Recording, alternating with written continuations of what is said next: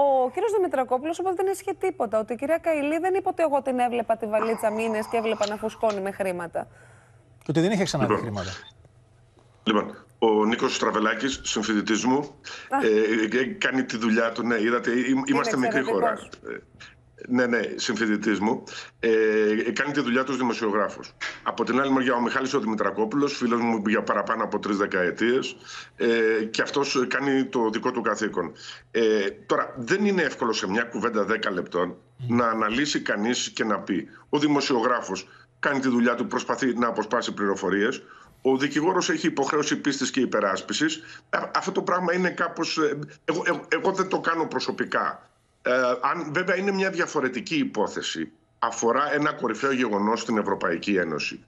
Τώρα, εγώ δεν μπορώ να κρίνω την ουσία. Όταν έρχεται ο Μιχάλης Δημητρακόπουλος και λέει: Ξέρετε, εγώ έχω δικογραφία, εσείς δεν την έχετε. Μπορώ να κάτσω ε, να κάνω. Ούτε άλλως δεν θα το έκανα. Είναι, είναι βέβαια. σαφές. Ε, Κύριε Ντάλτα, το από εδώ με- και, το, το από νόημα εδώ- της παρέμβασής μου είναι. Ναι, το γιατί από εδώ, το προφανώς από με εδώ και καλέσατε. πέρα η Έχετε διαδικασία, η διαδικασία για Θα την σας κυρία πω, θα Καηλή σας ποια πω. μπορεί να είναι; Αυτό να μας Θα πείτε. σας πω, θα σας πω, θα σας πω. Επειδή εδώ και αρκετές μέρες έχω μια δημόσια επανέμβαση, εγώ δεν παρεμβαίνω για υποθέσεις που εγώ χειρίζομαι, αλλά εδώ έπρεπε να ενημερωθεί ο κόσμος γιατί υπήρχε αδυναμία του δικαστικού ρεπορτάζ.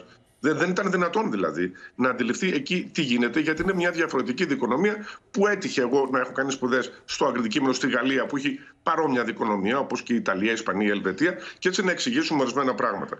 Πρώτα λοιπόν να εξηγήσουμε ότι εκεί ο ανακριτής δεν είναι ο εδώ ανακριτής που είναι δύο χρόνια και μετά παραδίδει τις υποθέσεις σε κάποιον άλλον και πάει και δικάζει αυτοκίνητα και διατροφές. Είναι ισόβιος και αμετάθετος. Μπαίνει ανακριτής, βγαίνει ανακριτής. Δεν τον θεωρούν δικαστή. Τον θεωρούν κάπως εντός εισαγωγικών, όχι τόσο απαξιωτικά, ε, μπάτσο.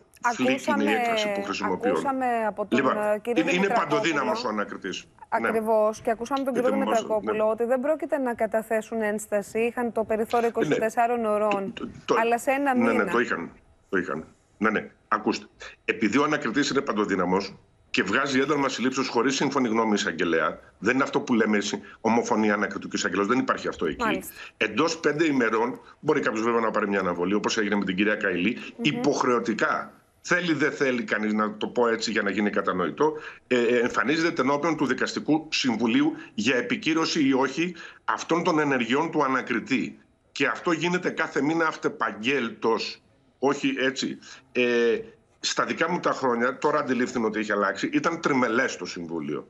Φαίνεται η πληθώρα των υποθέσεων και ότι οι δικαστές είναι πάντοτε συγκεκριμένοι οδήγησε σε μονομελή σύνθεση εδώ και η έφεση πηγαίνει στην τριμελή. Δεν έχει κανένα νόημα, το έχω πει, όταν έχεις έναν ανακριτή όπως ο Κλέζ που είναι ε, όνομα ε, θρύλος της Βρυξέλλες για τη μάχη του κατά του οικονομικού εγκλήματος κλπ. Που κάνει μια έρευνα δύο χρόνια. Έχει διατάξει αυτό το επαχθέστατο μέτρο της προσωρινής κράτησης για πρώτη φορά ενός αντιπροέδρου του Ευρωπαϊκού Κοινοβουλίου. Μάλιστα. Ε, είναι πολύ δύσκολο να έρθει το δικαστικό συμβούλιο πάρει εντός πίσω. πέντε ημερών να, να το αποδοκιμάσει αν θέλετε και κυρίως την ώρα που η έρευνα διεξάγεται. Κύριε Έτσι, ναι, Ντάλτα, κύριε Ντάλτα, εγώ- είστε σαφείς. Κύριε Ντάλτα, Θα έχουμε μην και στη φύγετε. Το συνέχεια είχα και τον πει. κύριο Δεν υπήρχε Παπαδημούλη. ελπίδα. Κύριε Ντάλτα, μην φύγετε για Ναι, να ναι. ανοίξουμε και το Ε, θέμα με την Κιβωτό, να ακούσουμε τη- την Έλληνα τη Γαλάρη, λίγο τι γίνεται στο μέτωπο με την Κιβωτό, γιατί Ναι. Όχι υπάρχουν επί παντός, εξελίξεις. εγώ είναι έτσι. Ναι, ναι, ναι, Σύμφωνα. απλώς σαν, Ναι, σαν ναι, ναι. δικηγόρος. Να ακούσουμε Εντάξει, την Έλληνα. εντάξει, Καλημέρα, Έλληνα. έγινε. Χρόνια πολλά. Εντάξει. Καλημέρα, Καλημέρα, χρόνια Έλληνα. πολλά σε όλους. Ε, οι εισαγγελείς ανηλίκων που διενεργούν την έρευνα κατέληξαν στο συμπέρασμα ότι προκύπτουν επαρκείς ενδείξεις έτσι ώστε να κληθεί ο Παδίρα Αντώνιος να δώσει εξηγήσεις με την ιδιότητα του υπόπτου για το κακούργημα της κατάχρησης ανηλίκου σε ασέλγεια κατά συρροή και κατά εξακολούθηση. Καταλητικό ρόλο έπαιξαν οι καταθέσεις ενός 19χρονου σήμερα πρώην φιλοξενούμενου σε δομή. Ήταν ο πρώτος, να θυμίσουμε, που είχε κάνει καταγγελίες για την Κιβωτό για κακοποιητική συμπεριφορά αλλά και για ασέλγεια, αλλά και ενός 15χρονου, ο οποίος περιέγραψε και εκείνος περιστατικά με ασελγείς πράξεις από τον α, ιερέα.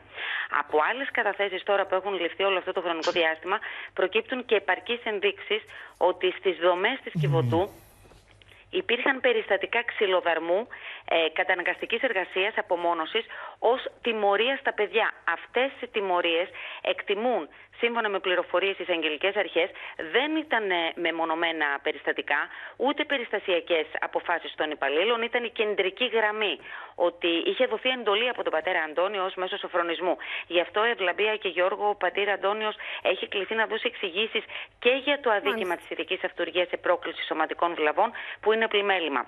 Και εδώ Να είχαμε σας πω φιλοξενήσει ακόμα- τέτοιες μαρτυρίες, Έλενα, που μας έλεγαν για την τιμωρία και τη συνέπεια, έτσι τα είχαν ονομάσει, πέρα από τις καταγγελίες για ασέλγεια. Κάτι Έλα, θες να πεις; ολοκλήρωσε. Κάτι θες να πεις; Ακριβώς είχατε βγάλει κι εσείς και στην εκπομπή σας κατά καιρούς διάφορες μαρτυρίες. Ε, Εκτός από τον πατέρα Αντώνιο, εξηγήσεις καλούνται να δώσουν και 7 υπάλληλοι για κακοποιητική συμπεριφορά απέναντι στα παιδιά. Τρεις είναι σε δομές της Αθήνας, δύο σε δομή της Χίου και άλλοι δύο είναι στο Βόλο. Οι έξι από αυτούς θα δώσουν εξηγήσεις για πρόκληση σωματικών βλαβών. Μία υπάλληλος για έκθεση ανηλίκου σε κίνδυνο, καθώς φέρεται να μην μετέφερε το παιδί, Μάλιστα. ένα παιδί που είχε τραυματιστεί είτε σε γιατρό είτε στο νοσοκομείο. Είναι περιστατικά τα οποία φέρονται να έχουν τελεστεί από το 2020 έως το 2022, την τελευταία τριετία δηλαδή, ε, να σας πω ότι σύμφωνα με τις πληροφορίες μας, την επόμενη εβδομάδα ο πατήρ Αντώνιος και οι επτά ε, υπάλληλοι έχουν κληθεί να δώσουν εξηγήσεις στις δύο εισαγγελίες. Ωστόσο, είτε οι ίδιοι είτε οι δικηγόροι τους θα ζητήσουν προθεσμία για να ενημερωθούν. Μόλις δώσουν τις εξηγήσεις, τότε οι εισαγγελίες θα αποφασίσουν εάν θα ασκήσουν ή όχι ποινική δίωξη σε βάρος τους, δηλαδή εάν θα τους καταστήσουν κατηγορούμενους. Μάλιστα. Μάλιστα. Κύριε Ντάλτα, Κύριε ένα Ντάλτα, σχόλιο. ένα σχόλιο για το εάν καθυστέρησε αυτή η εξέλιξη να έρθει. Τόσο καιρό είναι η έρευνα, Όχι. είδε από τον Αύγουστο Όχι. και τώρα φτάσαμε Όχι. Δεκέμβρη για να κληθεί. Ναι, η αλήθεια είναι το σύστημα μας είναι διαφορετικό. Είδατε εκεί πόσο ταχύτατα έτσι υπάρχει ανάκριση.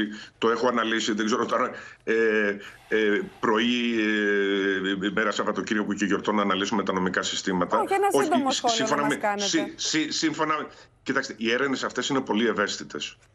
Είναι πάρα πολύ ευαίσθητες, θέλουν προσοχή ε, από πολλές πλευρές ε, γιατί υπάρχουν μια δομή ε, που είχε ιστορία με ανήλικα παιδιά που έχουν βγει από εκεί, που υπάρχουν εκεί, θέλει προσοχή. Δεν είναι εύκολες έρευνες, δεν είναι εύκολες υποθέσεις. Ε, εγώ προσωπικά την παρακολουθώ με προβληματισμό και σκεπτικισμό, χωρίς να Μάλιστα. ξέρω και κανείς μας δεν ξέρει τι έχει γίνει, έτσι δεν είναι. Ευχαριστούμε πολύ. Χρόνια πολλά. Καλά Χριστούγεννα. Χρόνια Καλά πολλά, Χριστούγεννα καλημέρα. και σε εσάς Να και είστε στην καλά.